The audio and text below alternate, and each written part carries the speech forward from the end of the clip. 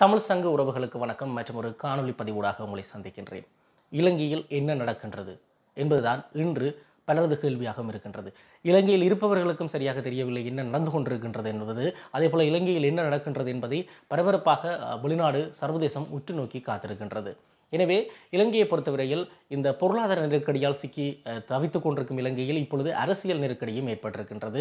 ஆட்சி கவிழும் அந்த ஒரு சூழ்நிலை கூட ஏற்பட்டிருக்கின்றது. மிகப்பெரும் அழுத்தம் இந்த அரசாங்கத்துக்கு ஏற்பட்டிருக்கின்றது. இந்நிலையில் நேற்றைய நாள் அதாவது மூன்றாம் தேதி ஏப்ரல் மாதம் இரண்டாயிரத்தி இருபத்தி ரெண்டை பொறுத்தவரையில் இலங்கையினுடைய அரசியலில் மிக மிக முக்கியமான ஒரு நாள். நேற்று நான் ஏலவே இதற்கு முன்னைய காணொளியில் குறிப்பிட்ட விடயம் ஏப்ரல் மூன்றாம் திகதி நாடளாவிய ரீதியில் மிக பெரும் போராட்டங்களுக்கு ஒழுங்கமைக்கப்பட்டிருந்தது மக்கள் போராட்டம். எனவே இந்த மக்கள் போராட்டத்துக்கு பயந்த அரசாங்கம் நேற்று முழு நாள் ஊரடங்கு விதித்திருந்தது. எனவே இது மிகவும் கடுமையாக விமர்சிக்கப்பட்டது. அரசாங்கத்தினுடைய இந்த நடவடிக்கை ஜனாதிபதியினுடைய கையொப்பத்துடன் அதற்கான வர்த்தமானி வழியாக இருந்தது. எனவே நேற்று பரவலாக நாடளாவிய ரீதியில் பாதுகாப்புகள் பலப்படுத்தப்பட்டிருந்த போதும் கொழும்பில் தென்னிலங்கையில் தான் அந்த பாதுகாப்புகள் அதிகளவில் இருந்தது. வடக்கு கிழக்கை பொறுத்தவரையில் அந்த போலீஸ் மற்றும் இராணுவத்தினுடைய பாதுகாப்பு என்பது ஊரடங்கு வளமையாக இருக்கக்கூடிய அந்த ஊரடங்குகளுடன் ஒப்பிடும்போது மிக மிக குறைவாகவே இருந்தது. இந்த நிலையில் இந்த எதிர்ப்புகளையும் மீறி பிரதான எதிர்க்கட்சி ஐக்கிய மக்கள் சக்தி கொழும்பின் சுதந்திர சதுக்கத்தை நோக்கி அவர்கள் பேரணி ஒன்றை முன்னெடுத்திருந்த போது அங்கு அவர்கள் போலீசாரால் தடுக்கப்பட்டு அங்கு மிக பெரும் கலவரம் இடம்பெற்றிருந்தது குறிப்பாக எதிர்க்கட்சி தலைவர் சஜித் பிரேமதாசா உட்பட அங்கு பல்வேறு தரப்பினரும் எதிர்க்கட்சி நாடாளுமன்ற உறுப்பினர்கள் அங்கு குழும்பியிருந்தார்கள் தமிழ் தேசிய கூட்டமைப்பினுடைய எம் ஏ சுமந்திரன் நாடாளுமன்ற உறுப்பினர் கூட அந்த இடத்தில் இருந்திருந்தார். அதே போல மகரகமவில் மக்கள் போராட்டம் இடம்பெற்றிருந்தது. அதே போல் பல்கலைக்கழக மாணவர்கள் சிறு ஏவர்த்தன் உருவமாக இருக்கலாம் அல்லது பிரதனியா பல்கலைக்கழகமாக இருக்கலாம் அவர்களுடைய அந்த எதிர்ப்பு போராட்டங்கள் கூட நேற்று மு- முக்கிய இடத்தை பிடித்திருந்தது. குறிப்பாக பிரதனியா பல்கலைக்கழக மாணவர்கள் தங்களுடைய அந்த பல்கலைக்கழக வளாகத்தை ஒட்டியதாக அந்த வீதிகளில் அவர்கள் மிக பெரும் போராட்டங்களை நடத்தி கொண்டிருந்த போது அங்கு போராட்டக்காரர்களை கலைப்பதற்காக நீர்த்தாரை பிரயோகம் அதே போல் கண்ணீர் பு- குண்டு புய- பிரயோகம் என்பதாக அங்கு மாணவர்கள் மீது இவ்வாறு தாக்குதல்கள் நடத்தப்பட்டிருந்தது. எனவே அதுவும் சமூக வலைத்தளங்களில் மிக பெரும் பேஸ் பொருளாக மாறியிருந்தது. மாலை வேளையில் அடுத்தடுத்து பல அதிரடி திருப்பங்கள் காத்திருந்தன. முதலாவதாக வெளிவந்த செய்தியாக பிரதமர் பதவி விலகினார் என்பதாக காணப்பட்டது. பிரதமர் பதவி விலகினார் என்கின்ற செய்தியானது அனைத்து ஊடகங்களிலும் ஒரு மிக பெரும் பேசுபொருளாக இடம்பெற்றிருந்த நிலையில் யாராலும் உறுதிப்படுத்த முடியாதாக இருந்தது. ஆனால் சமகால அரசியல் விடயங்களை அவதானித்துக் கொண்டிருப்பவர்கள் பிரதமர் பதவி விலகியிருப்பார் என்கின்ற ஊகத்தில் தான் பலரும் செய்திகளை வெளியிட்டுக் கொண்டிருந்தார்கள். அதற்கான ஏது நிலைகள் தான் அதிகமாக காணப்பட்டிருந்தது. ஆனால் அதன் பின்பதாக அரசாங்கம் பிரதமர் தரப்பில் இருந்து மறுக்கப்பட்டிருந்தது. பிரதமருடைய ஊடக பிரிவு மறுத்திருந்தது. பிரதமர் பதவி விலகவில்லை என்கின்ற அந்த செய்தியை அவர்கள் வெளியிட்டிருந்தார்கள். அதே போல அமைச்சர் விளையாட்டுத்துறை அமைச்சர் நாமல் ராஜபக்ச பதவி விலகுவதாக தனது ட்விட்டர் பக்கத்தில் தெரிவித்திருந்தார். அதற்கான அறிவிப்பை தான் விடுத்திருப்பதாக குறிப்பிட்டிருந்தார். அந்த நிகழ்வு இடம்பெற்று ஒரு சிறு சில நேரத்தின் பின்பதாக நீதி அமைச்சர் அலிஸ் அப்ரி தான் பதவி விலகுவதாக தெரிவித்திருந்தார். இவ்வாறாக அமைச்சர்கள் தனித்தனியாக பதவி விலகும் அந்த செய்திகள் வெளிவந்து கொண்டிருந்த போது ஒட்டுமொத்தமாக அமைச்சரவை பதவி விலகியது என்கின்ற செய்தியும் வெளிவந்திருந்தது. இதற்கான தங்களுடைய பதவி விலகல் கடிதத்தை அவர்கள் பிரதமரிடம் கையளித்திருப்பதாக குறிப்பிடப்பட்டது. எனவே இந்த இடத்தில் தான் அரசியலமைப்பு என்ன சொல்கின்றது என்கின்ற விடயம் காணப்படுகின்றது. அதாவது இந்த இளைஞனுடைய ஒட்டுமொத்த அமைச்சரவையும் கலைந்துன்றது இலங்கையினுடைய ஒட்டுமொத்த அமைச்சரவையும் ராஜினாமா செய்தது அல்லது கலைகின்றது என்கின்ற விடயம் வரும்போது பிரதமர் பதவி விலகாத பட்சத்தில் அந்த அமைச்சரவை பதவி விலகுவதாக ஏற்றுக்கொள்ள முடியாது என்பதாக குறிப்பிடப்படுகின்றது அரசியலமைப்பில்.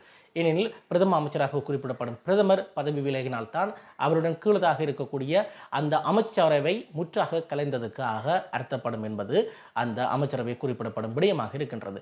மறுபுறத்தை இவர்கள் பதவி விலகல் கடிதத்தை இவர்கள் ஜனாதிபதியிடம் கையளிக்க வேண்டும் பிரதமரிடம் கையளிக்க கூடாது என்பதாகத்தான் அந்த அரசியலமைப்பிலும் காணப்படுகின்றது. எனவே இவர்கள் பிரதமரிடம் என்ன கடிதத்தை கொடுத்தார்கள் என்பதாக அந்த கேள்வி விரிந்தது. எனவே அதற்கான பதிலாக காணப்படுகின்றது. பிரதமர் பதவி விலகும் முடிவில் அது தொடர்பில் ஆலோசிக்கப்பட்டு கொண்டிருந்த போது அதற்கான கூட்டங்கள் இடம்பெற்றிருந்த போது அமைச்சர்களுடைய முடிவாக இருந்தது பிரதமர் பதவி விலகக்கூடாது என்பதாக. எனவே பிரதமர் பதவி விலகக்கூடாது என்பதைத்தான் அனைத்து அமைச்சர்களும் ஒரு முடிவாக பிரதமரிடம் கடிதம் மூலம் தெரிவித்திருக்கின்றார்கள் என்பதுதான் அந்த செய்தியாக இருக்கின்றது. எனவே இப்பொழுது பிரதமர் பதவி விலகவில்லை ஜனாதிபதி பதவி விலகவில்லை. அப்படியானால் அமைச்சரவை விலகி என்ன நடக்கப் போகின்றது? அந்த கேள்விகளுக்கு இன்றுதான் பதில் தெரியும். ஏனெனில் இன்று காலை முதல் பிரதமரும் ஜனாதிபதியும் இணைந்து அவர்கள் இப்பொழுது அடுத்த அமைச்சரவை குறித்து பேசப்போகின்றார்கள் அடுத்து அமைய ஒரு காபந்த அரசாங்கம் இலங்கையில் அமைய இருக்கின்றது. அனைத்து கட்சிகளை ஒன்றிணைத்தவாறு அந்த அரசாங்கம் அமையும் என்பதாக பேச்சுக்கள் அடிபட்டு கொண்டிருக்கின்ற நிலையில் நான் ஏற்கனவே குறிப்பிட்டதுபடி பிரதமர் பதவி விலகாத பட்சத்தில் இந்த அமைச்சர்களை தொடர்வதற்கான வாய்ப்புகளும் இருக்கின்றது. அல்லது இந்த அமைச்சர் அமைச்சரவையில் இருக்கக்கூடிய அமைச்சர்களில் அநேகர் தொடர்வதற்கான வாய்ப்பு இருக்கின்றது. ஏனையவர்கள் எனும்போது ஏற்கனவே அரசாங்கத்தில் ஒரு அதிருப்தி குழு இருக்கின்றது. அதிலிருந்து தான் அமைச்சர்களான விமல் வீரவன்சம் மற்றும் உதய கம்மன்பில் ஆகியோர் விலக்கப்பட்டார்கள். எனவே ஏறக்குறைய பதினோரு கட்சிகள் இருக்கின்ற இருக்கிறார்கள் பொதுஜன பெருமன் அரசாங்கத்துடன் தேர்தலை கேட்டு இப்பொழுது அதிருப்தியில் இருக்கக்கூடியவர்கள். அவர்களில் முக்கியமானவர்கள் ஸ்ரீலங்கா சுதந்திர கட்சியினர். முன்னாள் ஜனாதிபதி மைத்திரிபால சிறிசேன தலைமையிலான ஸ்ரீலங்கா சுதந்திர கட்சிக்கு இம்முறை கனமான அமைச்சு பதவிகள் கொடுக்கப்படவில்லை. அதிலும் முக்கியமாக அதன் தலைவர் மைத்திரிபால சிறிசேனவுக்கு அமைச்சர் எந்த ஒரு அமைச்சு பதவியும் கொடு- கொடுக்கப்படவில்லை. அதேபோல் செயலாளருக்கு ராஜாங்க அமைச்சு பதவி தான் கொடுக்கப்பட்டிருக்கின்றது. எனவே அவர்களையும் உள்ளி உள்ளீர்த்து அதே போல விலக்கப்பட்ட கமன் விமல் வீரவன்ச போன்றவர்களையும் உள்ளீர்த்து ஒரு அமைச்சரவை மீண்டும் அமையும் என்கின்ற எதிர்பார்ப்பு காணப்படுகின்றது. ஆனால் இவ்வாறு நாடளாவிய ரீதியில் ஒரு அரசியல் நெருக்கடி அதே போல பொருளாதார நெருக்கடி இவ்வாறு போராட்டங்கள் என நடந்து கொண்டிருக்கும் போது எதிர்க்கட்சிகளை உள்ளீர்க்காமல் ஒரு காபந்து அரசாங்கமா அது சாத்தியமாகுமா? அல்லது அதில் ஏதாவது பிரியோசனமா? என்கின்ற கேள்வி இருக்கின்றது. அந்த கேள்விக்கு பதிலாக ஐக்கிய மக்கள் சக்தி பிரதான எதிர்க்கட்சி அதே போல இன்னும் மற்றொரு எதிர்க்கட்சியாக இருக்கக்கூடிய ஏவிபி மக்கள் விடுதலை முன்னணி இவர்களும் உள்ளுக்கு வர வேண்டும். மூன்றாம் தரப்பில் இருக்கக்கூடிய தமிழ் தேசிய கூட்டமைப்பு சார்ந்தவர்களும் இந்த காபந்த அரசாங்கத்துக்குள் வர வேண்டும். அவ்வாறு வந்தால் இப்போதைக்கு நிலைமையை சமாளிக்கலாம் என்கின்ற நிலைமை காணப்படுகின்றது. ஆனால் இவர்கள் உள்ளுக்கு வருவதில் தான் சிக்கல் இருக்கின்றது. அதாவது ஐக்கிய மக்கள் சக்தியினுடைய தலைவர் சஜித் பிரேமதாச எதிர்க்கட்சி தலைவர் குறிப்பிடுகின்றார். இது தோற்றுப்போன அரசாங்கம் மக்களுடைய வெறுப்பை சம்பாதித்த அரசாங்கம் மக்கள் இந்த அரசாங்கத்தை வெளியேற்ற வேண்டும் என்கின்ற நிலைப்பில் இருக்கின்றார்கள். எனவே அவர்கள் யாருமே இந்த அமைச்சரவையில் இருக்கக்கூடாது அல்லது இந்த ஆட்சி அதிகாரத்தில் இருக்கக்கூடாது என்பதாக காணப்படுகின்றது.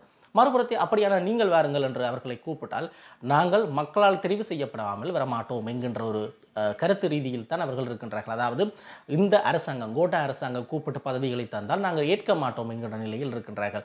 ஒரு தேர்தலுக்கு செல்லுங்கள் நாங்கள் தேர்தலுக்கு முகம் கொடுக்கின்றோம். தேர்தல் மூலமாக நாங்கள் தெரிவு செய்யப்பட்டு ஆட்சி அமைக்கின்றோம் என்பதாகத்தான் அவர்களுடைய கருத்தாக இருக்கின்றது. அதேபோல ஜேவிபியுடைய தலைவர் அனுரகுமார திசாநாயக்கவும் அவ்வாறு தான் மக்களால் தெரிவு செய்யப்படாத பட்சத்தில் தாங்களும் இவ்வாறு இந்த அரசாங்கத்துடன் சேர மாட்டோம் என்கின்ற நிலைப்பாட்டில் இருக்கின்றார்கள். ஐக்கிய தேசிய கட்சி பிரதான கட்சியான ஐக்கிய தேசிய கட்சி ஒரே ஒரு நாடாளுமன்ற உறுப்பினரே அதன் தலைவரை ஐக்கிய தேசிய கட்சியினுடைய தலைவர் ரணில் விக்ரமசிங்கே இப்பொழுது நாடாளுமன்ற உறுப்பினராக இருக்கின்றார். அவரும் இப்பொழுது இந்த நெருக்கடி நிலையில் ஒரு மூத்த அரசியல்வாதி அனுபவம் நிறைந்த அரசியல்வாதி என்கின்ற ரீதியில் இந்த கோடபாய ராஜபக்ச மற்றும் பிரதமர் மஹிந்த ராஜபக்சவுடன் இணைந்து பல்வேறு செயற்பாடுகளை முன்னெடுக்கின்றார். குறிப்பாக அவர்களுக்கு ஒரு ஆலோசகராகவும் அல்லது சில விடயங்களை இவர்கள் இருவரும் ஆலோசிக்கின்றார்கள் அந்த நிலையிலும் இருக்கின்றது. குறிப்பாக கோடாபாய ராஜபக்ச ஜனாதிபதி மற்றும் முன்னாள் பிரதமர் ரணில் விக்ரமசிங்குக்கு இடையிலான பேச்சுவார்த்தை தனிப்பட்ட ரீதியில் இடம்பெற்றிருப்பதாகவும் செய்திகள் தெரிவிக்கின்றது. எனவே இவர்கள் பேசுவதன் மூலம் என்ன மா- என்ன நிகழலாம்? அதாவது இவர்கள் பேசி எவ்வாறு இந்த அரசாங்கத்தை தொடர்ந்தும் சுமூகமாக கொண்டு செல்லலாம்? நாட்டினுடைய இந்த பொருளாதார பிரச்சனையை தீர்க்கலாம் என்கின்ற ரீதியில் தான் சில விடயங்கள் முன்னெடுக்கப்படுகின்றது. அப்படி முன்னெடுக்கப்படும் போது முன்னாள் பிரதமர் ரணில் விக்ரமசிங்கே தமிழ் தேசிய கூட்டமைப்பினுடைய நிலைப்பாடு என்ன என்பதையும் அறிந்திருக்கின்றார் என்பதாக கேள்விகள் வருகின்றது. சில உலகில் இந்த காபந்த அரசாங்கத்தில் தமிழ் தேசிய கூட்டமைப்பும் இணைந்து கொண்டால் அவர்களுக்கு இரண்டு அமைச்சு பதவிகள் வழங்கப்படலாம் என்கின்ற பேச்சும் இருக்கின்றது. அவ்வாறு அந்த இரண்டு அமைச்சு பதவிகள் வழங்கினால் அது யாருக்கு வழங்கப்படும் என்கின்ற கேள்வியும் இருக்கின்றது. எனவே இந்த இடத்தில் அரசாங்கத்தினுடைய பெரும்பான்மை ஏறக்குறைய இழக்கப்பட்டிருக்கின்றது. ஒரு வாக்கெடுப்பு ஒன்று இடம்பெற்றால் அந்த பெரும்பான்மையை அரசாங்கம் இழக்கக்கூடிய நிலைமை காணப்படுகின்றது. எனவே இந்த இடத்தில் ஜனாதிபதி ஜனாதிபதி அதேபோல பிரதமர் தொடரப் போகின்றார் இவர்கள் தொடர்வதாக இருந்தால் எவ்வாறு இந்த அமைச்சரவை அமையப் போகின்றது? இன்றைய நாள் இலங்கை வரலாற்றில் நான்காம் தேதி ஏப்ரல் மாதம் இரண்டாயிரத்தி இருபத்தி ரெண்டு இன்னும் ஒரு மிக முக்கியமான நாளாக இருக்கும் என்பதில் ஐயமில்லை. எனவே பல அதிரடி திருப்பங்களுடன் பல விடயங்கள் இன்று நடந்திட காத்திருக்கின்றது. குறிப்பாக இன்று காலை முதல் ஜனாதிபதி மற்றும் பிரதமருக்கு இடையிலான அந்த சந்திப்புகள் இடம்பெற்று அமைச்சரவை புதிய அமைச்சரவை தொடர்பிலான பல முக்கியமான விடயங்கள் செய்திகளாக வெளிவரும் என்பதாய் எதிர்பார்க்கக்கூடியதாக இருக்கின்றது. எனவே பொறுத்திருந்து தான் பார்க்க வேண்டும். இவ்வாறாக புதிய ஒரு அமைச்சரவை அல்லது இலங்கையினுடைய எதிர்காலம் தீர்மானிக்கப்பட போகின்றது. அடுத்து வரும் இரண்டு வருடங்களை இவர்கள் எப்படி கொண்டு செல்ல போகின்றார்கள்? அதே போல இப்போது மிக பெரும் பிரச்சனையாக இருக்கக்கூடிய இந்த பொருளாதார இருந்து நாட்டையும் மக்களையும் இவர்கள் எப்படி மீட்கப் போகின்றார்கள் என்கின்ற விடயத்தை நாங்கள் பொறுத்திருந்து தான் பார்க்க வேண்டும்.